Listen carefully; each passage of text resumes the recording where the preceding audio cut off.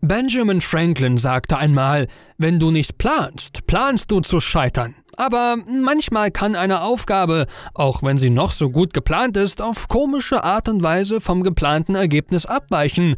Von urkomischen, gescheiterten Täuschungsversuchen bis hin zu atemberaubenden Überraschungen beim Tauchen. Wir stellen dir einige Pläne vor, die definitiv nicht so gelaufen sind wie erwartet. Die reinsten Absichten. Wenn es darum geht, hinterhältige Pläne zu schmieden, um ihre Partnerin zu überlisten, können Männer manchmal ziemlich kreativ werden. Leider sind diese Pläne aber manchmal nicht so gut durchdacht, um ihre Frauen lange zu täuschen. So erging es einem Mann aus Taiwan im Dezember 2020, als er eine PS5 kaufte, obwohl seine Frau es ihm verboten hatte. Er versuchte das Beste aus der Tatsache zu machen, dass das Design der PS5 unbestreitbar wie eine Art Luftreiniger aussieht und erzählte seiner anderen Hälfte, dass das mysteriöse neue Gerät in ihrem Wohnzimmer genau das sei. Und komischerweise funktionierte das auch eine Zeit lang, bis sie die Wahrheit herausfand. Die genauen Details, wie der Betrug aufflog, wurden nicht verraten, aber vielleicht kam die Erkenntnis, als seine Frau bemerkte, dass die meisten Luftreiniger nicht mit einem PlayStation-Controller gesteuert werden können. Man kann auch nicht Call of Duty darauf spielen.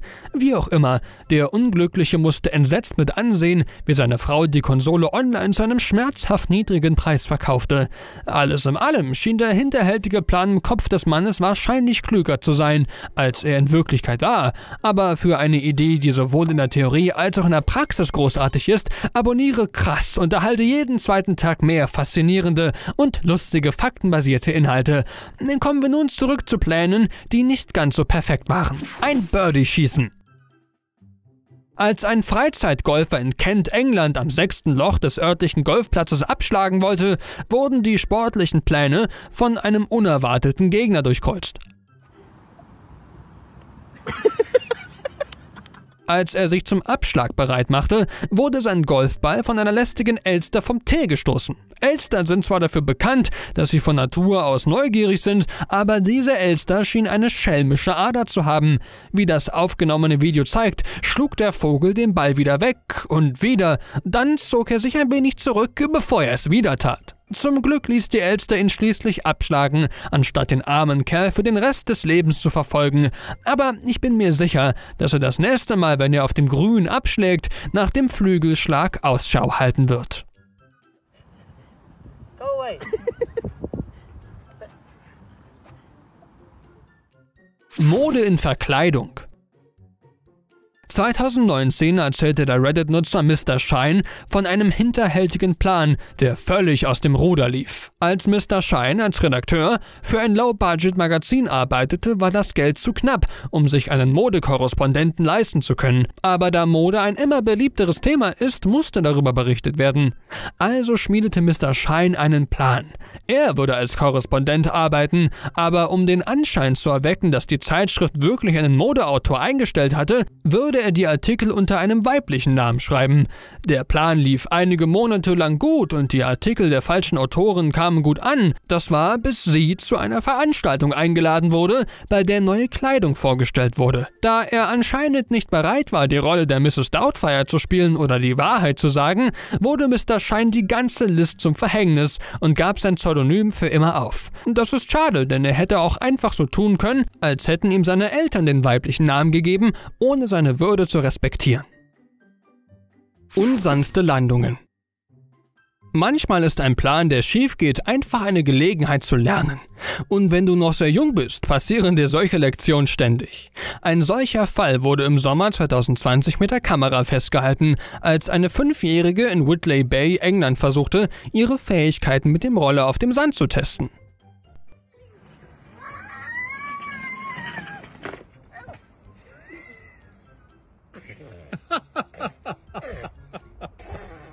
Auch wenn sie die Landung nicht ganz so hinbekommt, wie sie es sich vorgestellt hat, steht sie wieder auf und ist ein echter Kämpfer. Ein Mund voll Sand im Tausch gegen eine wertvolle Lektion, wo man nicht mit dem Roller fahren sollte, ist es wahrscheinlich wert, solange sie es nicht noch einmal versucht.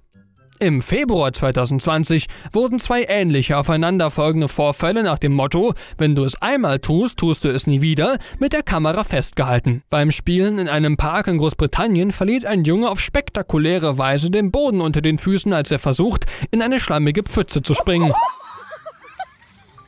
Rachel, Rachel, Rachel. Da sein Gesicht völlig mit Schlamm bedeckt ist, sollte man meinen, dass seine jungen Freunde wissen, wie sie einen ähnlichen Fehler bei ihren Sprüngen vermeiden können. Aber das Mädchen, das als nächstes an der Reihe ist, scheint nur die falsche Technik zu lernen, um einen Matschkuchen nicht zu essen und macht das hier.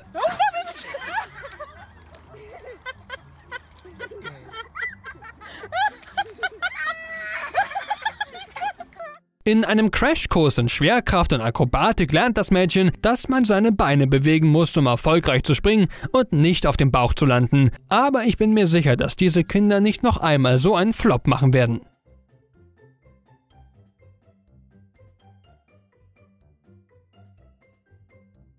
Unerwartete Überraschung. Wenn du unter leichten körperlichen Schmerzen leidest, kann eine Aspirin ein Wunder bewirken. Doch leider wurden die Bemühungen der Reddit-Nutzerin Cat of the Essence, ihre Kopfschmerzen zu lindern, auf die denkbar schlechteste Art und Weise vereitelt, als sie spät nachts nach Schmerztabletten kramte. Sie schnappte sich eine Pillenflasche, öffnete den Deckel und versenkte ein paar Aspirin, bereit zur Linderung. Doch die Erleichterung wich bald dem Entsetzen, als sie ihren Fehler bemerkte. Da sie von einem langen Tag erschöpft war, hatte sie nicht bemerkt, dass sie statt Aspirin etwas mit einem sehr ähnlichen Etikett und sehr ähnlich aussehenden Pillen eingesteckt hatte. Abführmittel. Sie bemerkte ihren Fehler erst, als sie eine Stunde später von dem plötzlichen starken Drang, ihren Darm zu entleeren, heimgesucht wurde.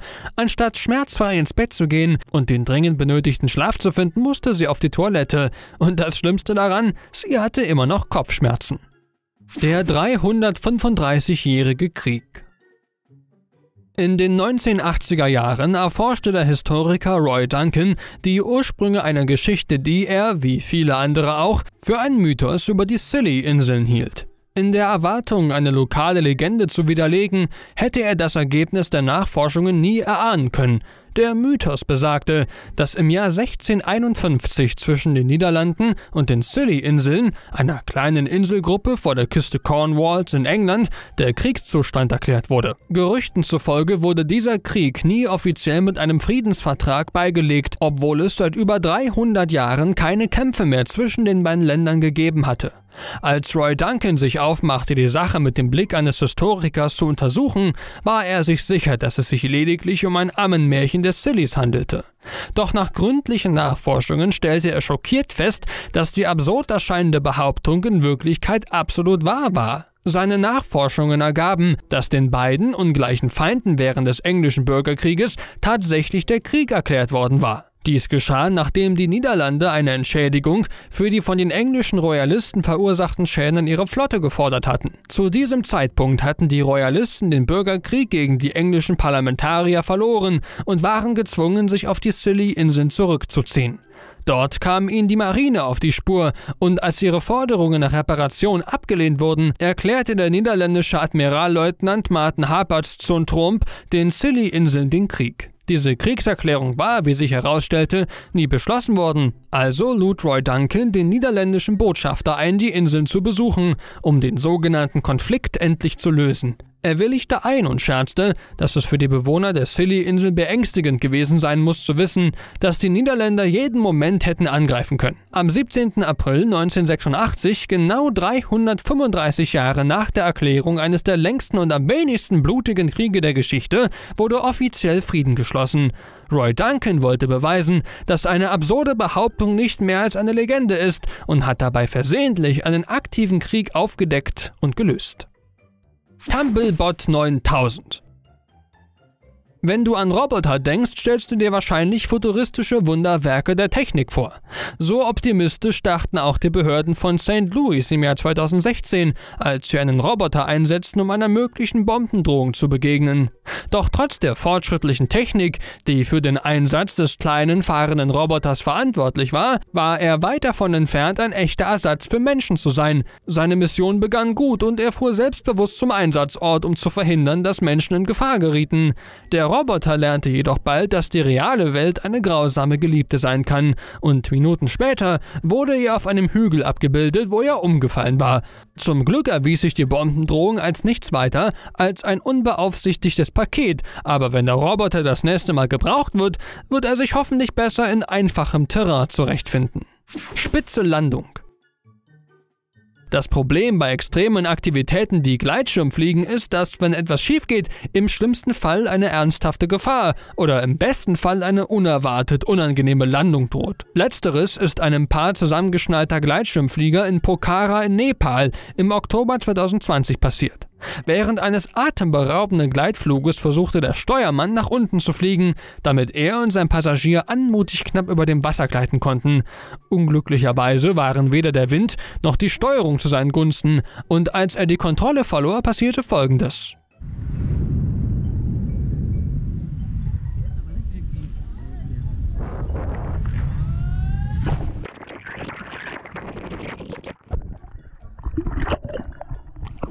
In einem Augenblick wechselt der Gesichtsausdruck des Passagiers von Freude zu Schock, als sie unerwartet ins Wasser stürzen. Die Landung war zwar unangenehm, aber nicht so schlimm, wie sie an Land oder auf einem Vulkan hätte sein können.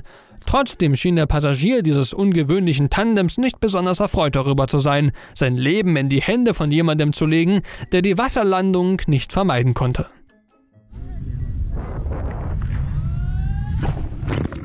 Toilettenhumor wenn jemand einen Witz zu weit treibt, ist es meistens die Person, die den Witz erzählt. Der legendäre amerikanische Late-Night-Moderator Johnny Carson hat es mit einem seiner Witze zu weit getrieben und sein Publikum hat nicht gemerkt, dass er überhaupt einen Witz gemacht hat.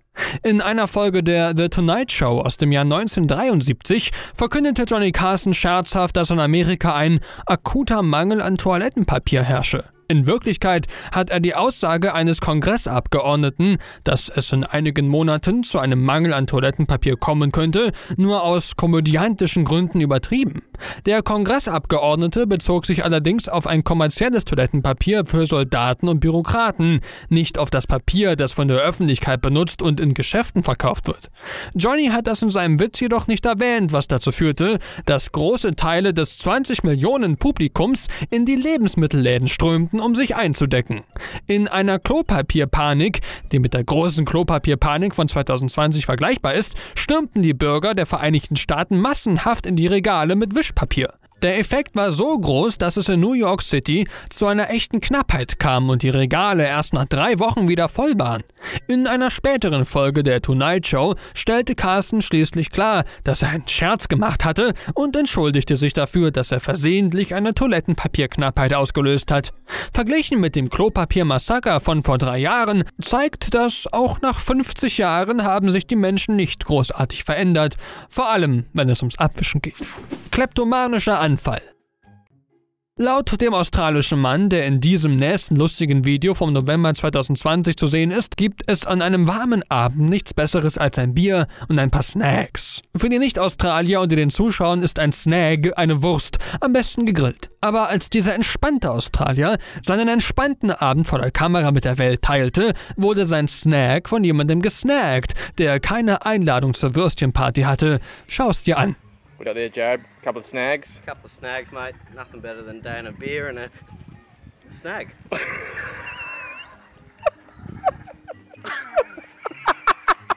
Perfektes komödiantisches Timing. Ein Vogel in der Nähe, ein Kookaburra, stürzt sich auf den leckeren Snack und snackt ihn.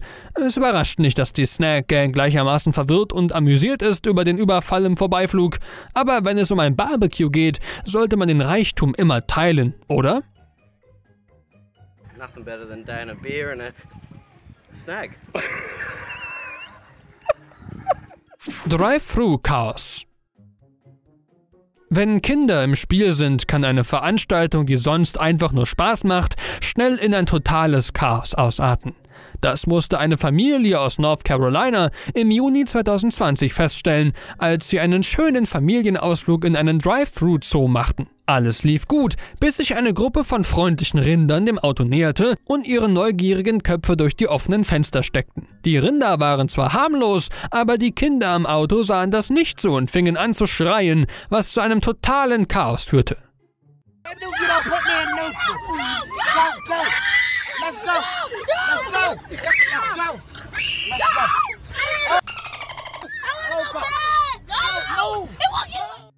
Die Tante der Kinder ist auf dem Beifahrersitz, weil sie vor Lachen schreit, während die Oma verzweifelt versucht, die Kontrolle wieder zu erlangen und die Kinder auffordert, die Tiere zu verscheuchen. Make it go away, Zamaya. Zamaya. Say shoot, shoot. Shoot. Everybody say shoot. Everybody say shoot. Außerdem wird das Kind auf dem Beifahrersitz von dem stechenden Geruch des Viehs schnell übel und übergibt sich aus dem Off auf den Schoß seiner Tante, die trotzdem weiter vor Lachen weint. Was für ein toller Kerl. Go. Go, go. Go, go. Go, move. I'm trying to go. Wait a minute. Who finna throw up? Go. Go. Go. Go. Go. Hey, hey. Hey, hey, this thing. window. I threw up. I gotta change. What do we changed. He threw up. What that big animal right there made me throw up? It's nasty. Oh, oh my God. Yo, can I go? Oh, Stop. move out of my rock. Noch nie ist ein Plan so drastisch von einem netten, ruhigen Familienausflug in den Zoo in ein so hemmungsloses Chaos abgewichen. Nun zumindest ohne dass jemand von einem Tier gefressen wurde, aber im Gegensatz zu diesem erstaunlichen Clip wäre das nicht so wahnsinnig lustig. Ein letztes Missgeschick. Wenn der letzte Vorhang fällt und du aufhörst zu leben, gibt es zumindest einen positiven Aspekt. In der Regel bedeutet das, dass dir nie wieder etwas Schreckliches zustoßen wird, denn dein Leben ist vorbei. Aber ein unglückliches Mitglied des Clubs der kürzlich Verstorbenen hatte einen letzten schlechten Tag, nachdem er 2013 den Löffel abgegeben hatte. Auf den Aufnahmen aus Drogheda, Irland sieht man, wie ein Sarg aus dem Leichenwagen baumelt, der den Verstorbenen sicher zur letzten Ruhestätte bringen sollte, als ob sie nicht schon genug durchgemacht hätten. Wie sich herausstellte, hatte der Bestatter den Sarg nicht richtig im Leichenwagen eingespannt, sodass er aus dem hinteren Fenster schoss, als er an einer Ampel beschleunigte. Es freut dich sicher, dass die Person, die das Foto gemacht hat, aus ihrem Auto gestiegen ist und dem Bestatter geholfen hat, der gelinde gesagt ziemlich verzweifelt gewesen sein muss, aber erst nachdem er ein Foto geschossen hatte, das der Inbegriff des schwarzen Humors ist. Um das Ganze etwas weniger düster zu gestalten, stellen wir uns einfach vor, dass in dem Sarg ein Vampir liegt, der versucht, in die Freiheit zu gelangen. Kulinarische Katastrophen. Eines der häufigsten Dinge, die schiefgehen, ist der Versuch, ein neues Rezept zu kochen. Wie oft ein Kochanfänger versucht hat, dieses süße Omelett nachzumachen, ist unbekannt, aber wenn man bedenkt, dass dies das Ergebnis der Bemühungen war, bezweifle ich, dass er es nochmal versuchen wird. Wahrhaft, grauenhaft. Das gleiche gilt für den Versuch eines Hobbybäckers, diese SpongeBob-Kekse nachzubacken. Ja, ich wollte heute Nacht eh nicht schlafen. Dieser hängende Versuch, einen Schlumpf-Cupcake zu backen, schien zu sagen, bitte töte mich, ich kann nur leiden. Und lass mich gar nicht erst anfangen mit diesem höllischen Elmo-Kuchen. Aber andere kulinarische Katastrophen sind weniger furchterregend und eher erbärmlich, wie zum Beispiel der Versuch der Frau eines Redditors, Croissants zum Frühstück zu machen. Volltreffer. Oder der Versuch dieses Imgur-Nutzers, ein Food Network-Rezept für Brown Sugar Pecan Bears nachzumachen. Wenigstens hat er es versucht. Aber dieser amtierende Meister der kulinarischen Katastrophen ist der Reddit-Nutzer, der für diesen Beitrag verantwortlich ist. Falls du es nicht erkennen kannst, das ist eine Kartoffel. Ja, sie leuchtet wie ein Feuer des Schicksalsberges. Der ungeschickte Koch behauptete, die Kartoffel 10 Minuten lang in der Mikrowelle erhitzt zu haben, was zwar etwas übertrieben ist, aber das Ergebnis ist trotzdem extremer, als man erwarten würde. Einige Kommentatoren stellten die Theorie auf, dass dieses totale Desaster durch Schmutz oder Keime auf der Kartoffel verursacht worden sein könnte, aber die Erklärung bleibt ungewiss. Was auch immer die Ursache war, sie verwandelte das einstige Wurzelgemüse in einen persönlichen Vulkan, und das ist in gewisser Weise wirklich beeindruckend. Äste von oben. Da Bäume so groß sind, können sie eine Gefahr darstellen, wenn Menschen versuchen, sie zu fällen, sogar morsche, tote Bäume. Menschen, die mit dem Fällen von Bäumen ihren Lebensunterhalt verdienen, wissen das besser als jeder andere und machen in der Regel einen großen Bogen um die Bäume, bevor sie sie zu Boden reißen. Doch manchmal kann selbst ein gut geplanter und gut durchgeführter Baumfellvorgang unerwartet gefährlich werden, wie eine Gruppe von Baumfällern im Jahr 2018 feststellen musste. Als sie eine alte tote Kiefer im Camp Hill, Alabama, aus scheinbar sicherer Entfernung fällten, passierte Folgendes.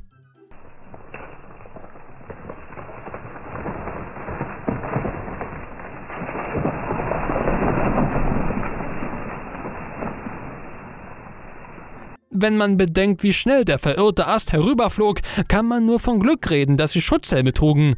Wenn ein so schwerer Ast so weit auf den Boden fällt, erzeugt er eine enorme Kraft. Und in diesem Fall sieht es so aus, als ob der Ast von einem anderen, größeren Stück geschleudert wurde, das auf ihm landete, ihn umdrehte und mit beängstigender Geschwindigkeit vorwärts schleuderte.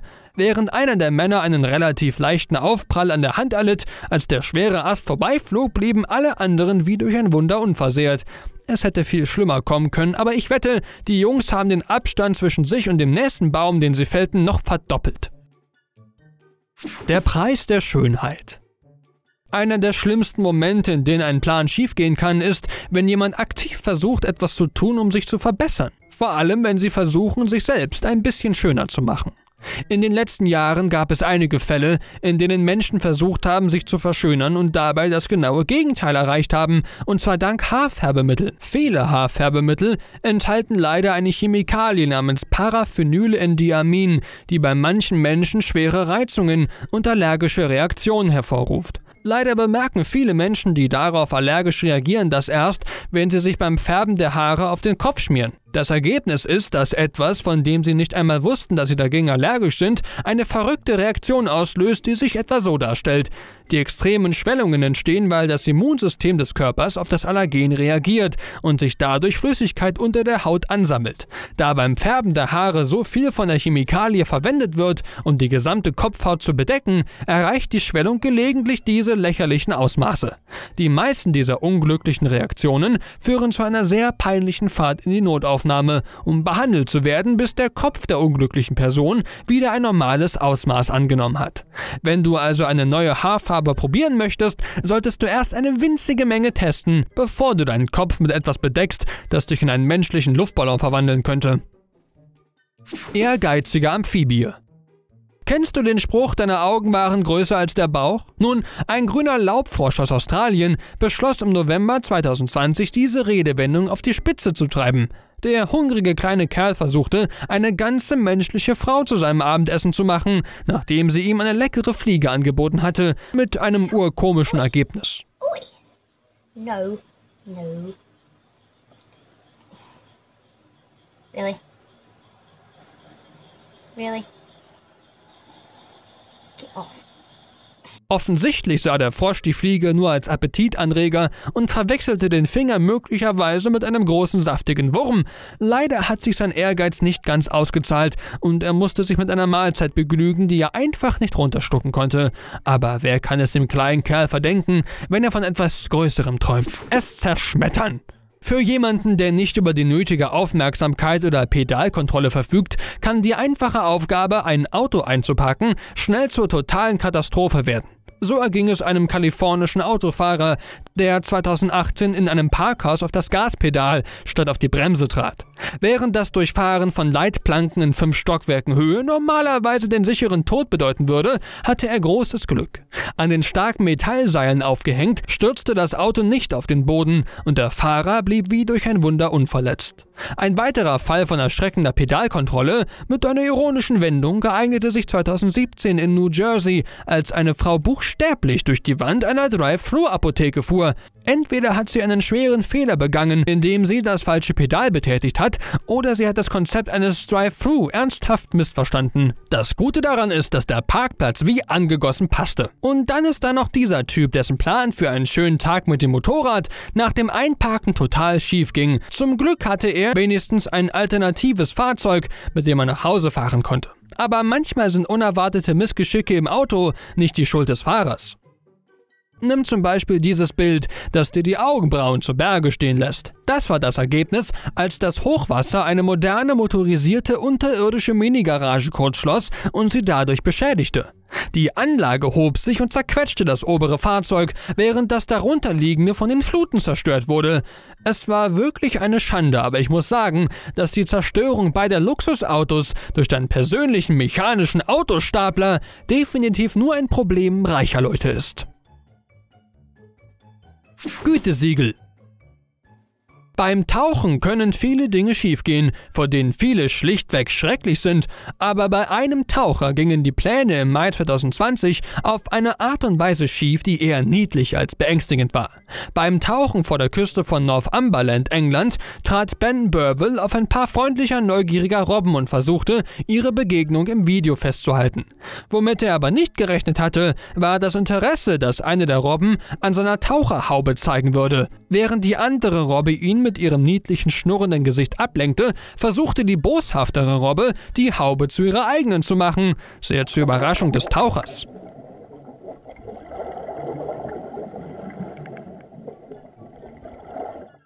Der Robbe gefiel die Haube offensichtlich, aber sie war enttäuscht, dass sie festsaß. Zum Glück verlor sie nach einem Moment das Interesse, denn mit ihren scharfen, gezackten Zähnen hätte sich das Meeressäugetier wahrscheinlich sowieso davon machen können, wenn sie es wirklich gewollt hätte. Aber die Robbe war entweder zu höflich oder entschied einfach, dass die Haube doch nicht ihr Fall ist. Wie auch immer, der Taucher war sicher sehr erleichtert, dass er sich nicht gegen diese Beißer wehren musste. Sind bei dir auch schon mal Pläne spektakulär in die Hose gegangen? Lass es mich in den Kommentaren wissen und danke fürs Zuschauen.